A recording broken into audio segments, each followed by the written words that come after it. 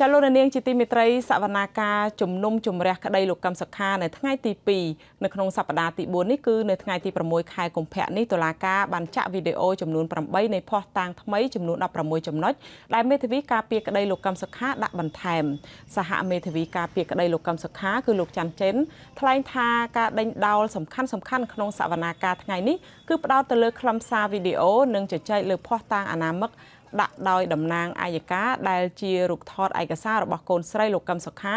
យកចេញពីទំព័រ Facebook មួយ ដែលមានឈ្មោះថាកូនខ្មែរ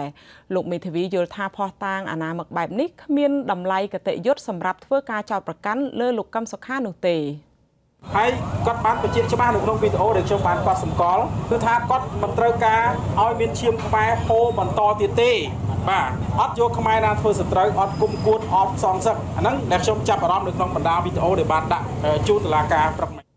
ប្រធានគណៈបកសង្គ្រោះជាតិលោកកឹមសុខាបានផ្ដល់បទសម្ភាសន៍ដល់អ្នកសារព័ត៌មានមុនពេលទៅតុលាការថាតំណាងអัยការអះអាងថាសមត្ថកិច្ចចាប់ខ្លួនលោកដោយសំអាងទៅលើពាក្យសម្ដីរបស់លោកដែលបានថ្លែងកាលពីឆ្នាំ2013ប៉ុន្តែសមត្ថកិច្ចទើបចាប់ខ្លួនលោកនៅឆ្នាំ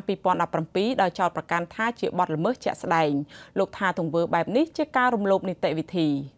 2013ហើយចោទថាជាបទល្មើសជាក់ស្ដែងបើជាក់ស្ដែងតាំង2013មិនក៏មិនចាប់អញ្ចឹងហើយគិនគាត់និយាយប៉ុណ្ណឹងមកគឺឃើញថារំលោភនីតិវិធីតាំងពីចាប់មកហើយហើយអង្គហេតុនោះត្រូវមានផោះតាំងដែលថាខ្ញុំបានប្រព្រឹត្តណាឃើញសកម្មភាពឲ្យពេលមកចាប់ខ្ញុំចាប់កដាលយប់ហ្នឹងចូលចូលចាប់ខ្ញុំខ្ញុំពងដេកមានពងប្រព្រឹត្តណាហើយមិនថាបទល្មើសជាក់ស្ដែង អ្នកនាំពាក្យសមាគមការពារសិទ្ធិមនុស្សអាត់ហុកលោកសឹងសែនករណាសង្កេតឃើញថាតំណាងអัยការបានយកភ័ស្តុតាងមិនរឹងមាំនិងគ្មានភាពច្បាស់លាស់ធ្វើជាការដេញដោលដែលករណីនេះធ្វើឲ្យប៉ះពាល់ទៅដល់សិទ្ធិសេរីភាពលោកកឹមសុខា គួរតែជាផោះតាងមួយដែលមានស្ថានភាពត្រឹមត្រូវជាផោះតាងមួយដែលមានភាពច្បាស់លាស់អីជាដើមពីព្រោះយើងមិនធម្មតាទេកាលណាយើងចង់ចោទប្រកាន់ទៅលើបុគ្គលណាម្នាក់ថាបានប្រព្រឹត្តនៅល្មើសនៅមាត្រាច្បាប់ណាមួយនៃប្រទេសកម្ពុជាយើងហ្នឹងគួរតែយើងមានផោះតាងឲ្យរឹងមាំឲ្យបានត្រឹមត្រូវហើយមិនគួរណាយើងចេះតែចាប់យកគ្រប់ផោះតាងដែលជាគ្រាន់តែជាតម្រុយតម្រុយណា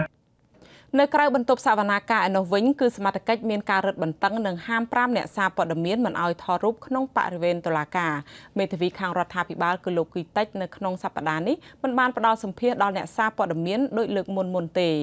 ចៅក្រមជំនុំជម្រះលោកកុយសៅប្រកាសថានៅសប្តាហ៍ក្រោយតុលាការនឹងជជែកតាក់ទងទៅនឹងអង្គហេតុសំខាន់សំខាន់3ដំណាក់កាលគឺការបង្កើតនិងរចនាសម្ព័ន្ធគណៈបកសង្គ្រោះជាតិអង្គហេតុមុននិងក្រោយការបោះឆ្នោតឆ្នាំ2013បន្តដល់ការចាប់ខ្លួនលោកកឹមសុខា